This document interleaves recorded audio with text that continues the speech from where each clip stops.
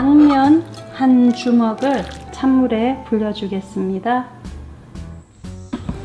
안녕하세요. 4 1 장금이입니다. 오늘은요, 제가 닭볶음탕을 하려고 해요.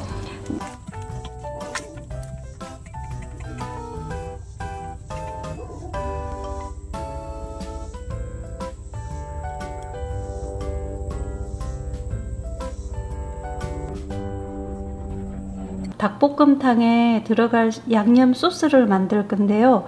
3큰술 정도 되겠습니다. 설탕 한 큰술 넣어 주었습니다.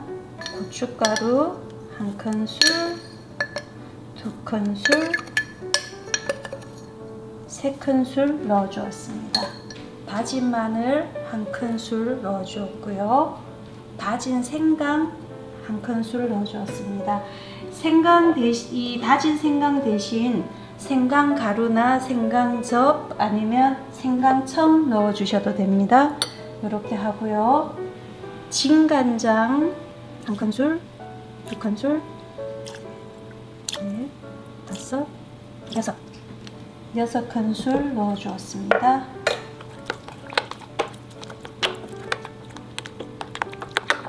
여기에요.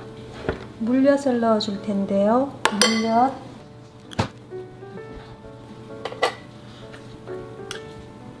물엿 두 큰술 넣어 주시면 됩니다. 저는 물엿이 없어서 딱 떨어져서 조청을 넣어 주었습니다. 참기름 한 큰술 넣어 주었습니다. 후추 한 티스푼 정도 넣어 주었어요.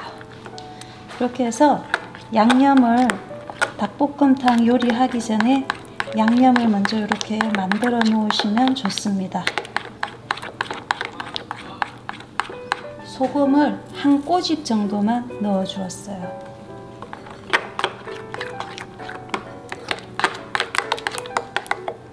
이렇게 양념이 부드럽게 되었는데요. 이렇게 해서 찍어서 간을 한번 보세요. 보셔서 짠맛 단맛을 여러분들이 조정을 하시면 되거든요. 고춧가루를 한 큰술만 더 넣어 주겠습니다.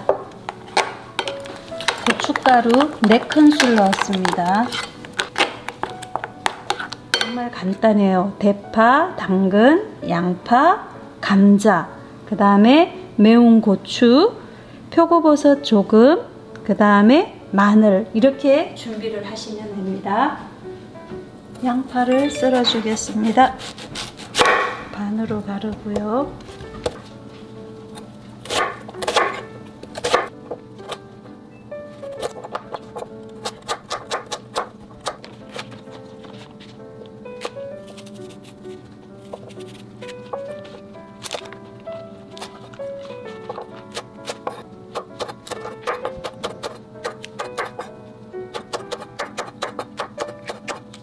닭볶음탕에 들어갈 채소들을 다 준비를 했는데요. 감자는 아주 작은 한 줌에 이렇게 딱 잡히는 작은 감자를 그냥 통째로 넣어 줄 거고요. 청양고추는 어슷썰기를 해 주었습니다. 그리고 양파도 그냥 굵직굵직하게 썰어 주었고요. 당근 0.5에서 7cm 정도 두께로 동글납작하게 썰어 주었어요. 그리고 대파도 3cm 길이로 듬성듬성 썰어 주었고요. 말린 표고버섯하고 통마늘도 조금 준비를 했습니다. 우리 딸이 갑자기 오- 이번 주말에 집에 오면서 밥 같은 밥을 먹고 싶다고 하면서 닭볶음탕을 해달라고 하네요. 그래서 지금 저녁으로 제가 닭볶음탕을 만들려고 하는데 이 닭은요 껍질을 벗긴 넓적다리살 두 팩을 준비를 했고요. 또 먹는 재미가 있으라고 이렇게 닭다리 이렇게 준비를 했습니다. 애들은요 씻지 않고 끓는 물에 그냥 데쳐주겠습니다. 데쳐가지고 요리를 하면 닭을 손질하기가 훨씬 쉬워요. 4, 5분 정도 데쳐주겠습니다.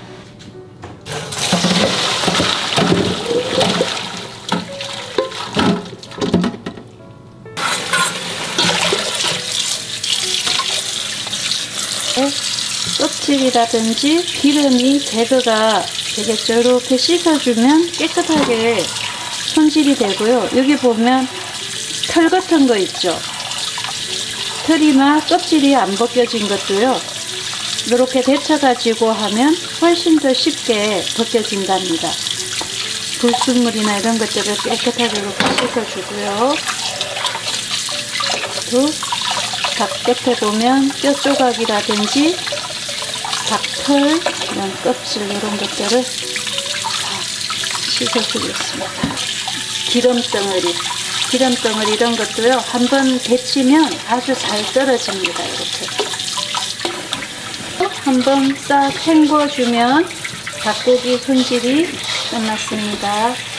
씻은 닭고기를 썰어줘야 되겠죠? 먹기 크, 좋은 크기로 칼로 썰으셔도 되고요. 저 같은 경우에는 이렇게 가위를 이용, 해 가지고 썰어주는 걸 쉽더라고요. 그러면 도마에 묻지 않아도 되고 그냥 가위로 이렇게 썰어줍니다. 이 닭을 생으로 이렇게 썰으려면 끈적거리고 해서요. 만지기도 좋지 않거든요. 근데 이렇게 한번 데쳐서 요리를 하면 이 닭고기 손질하기가 정말 쉬워요. 저처럼 이렇게 데쳐가지고 한번 꼭 요리를 해보세요. 닭다리는 그냥 통으로 먹는 즐거움으로 두고요. 먹기 좋은 크기로 이렇게 잘라주시면 됩니다.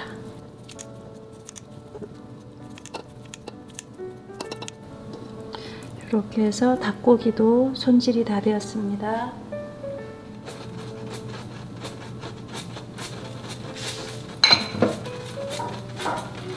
기름을 아주 조금만 넣어 주었습니다. 그리고 양파를 넣어주세요.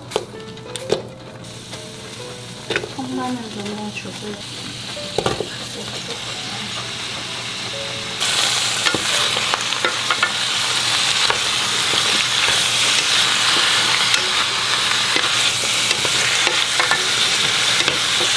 지금 한 꼬씩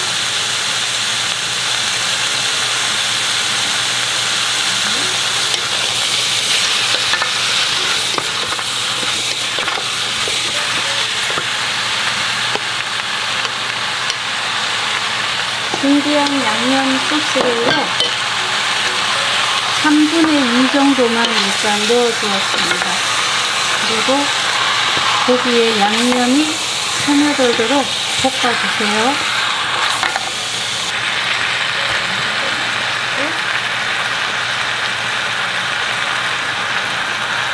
소고버섯 넣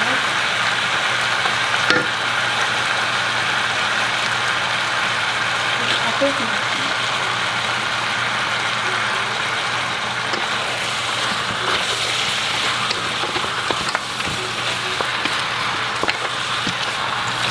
자박자박 잠길 정도로 8스푼을 넣어주었습니다. 만드는 소스를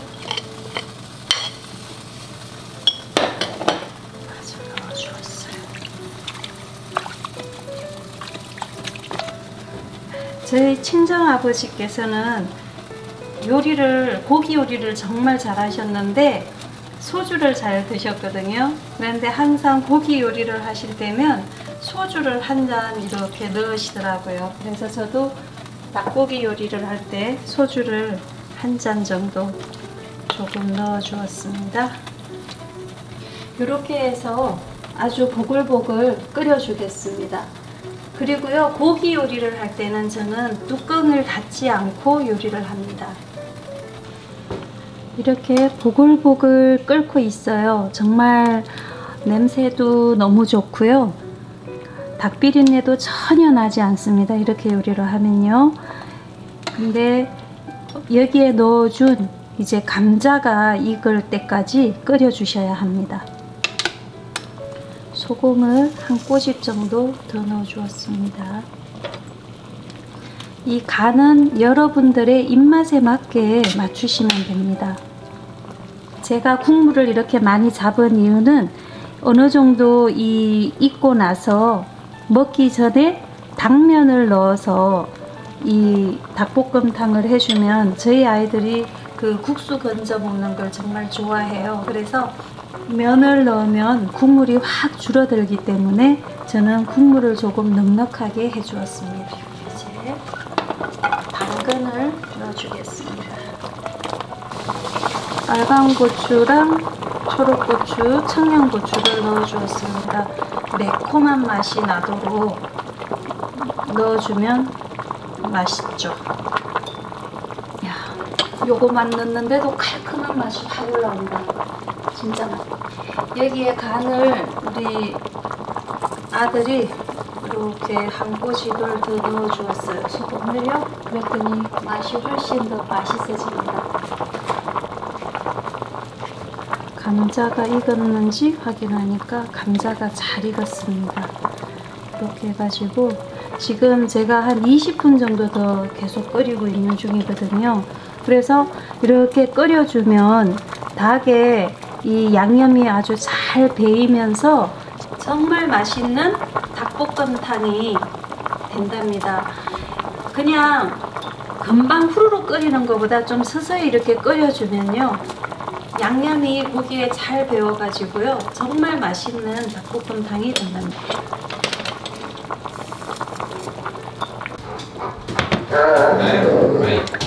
자, 애들이 도착을 해서 마지막으로 국수를 넣겠습니다. 다 넣을까, 재아야?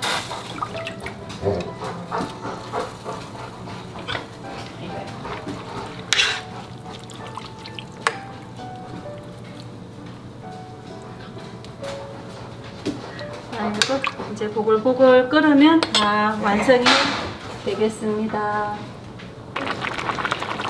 와, 이제 완성이 됐는데요. 이 당면도 이렇게 쫄깃쫄깃하게 다 익었습니다. 이제 맛있게 먹으면 되겠습니다.